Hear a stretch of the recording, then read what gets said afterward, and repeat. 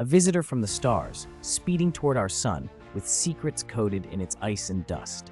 3I Atlas, the third interstellar object ever seen, is igniting curiosity and controversy. Discovered July 2025 by Atlas in Chile, 3I Atlas is hurtling toward the inner solar system on a hyperbolic path. It did not form here. It's not bound to the sun. Scientists see faint coma, a growing tail, unusual composition. But what path has it traveled? Astronomers trace its orbit back, not just through our galaxy, but across the vast cosmic web. Immense filaments of gas, dust, and dark matter connecting galaxies.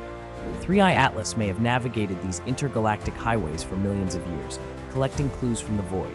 Its chemistry, rich in CO2, both icy and dark, hints at ancient origins, perhaps from a star system swallowed by cosmic tides. Could it carry messages from civilizations lost in the web's darkness? Some whisper of alien tech or cosmic seeds drifting between worlds. Most experts say comet, yet each anomaly deepens the mystery. 3i Atlas passes on, bearing questions that might reshape our understanding of the universe's hidden threads.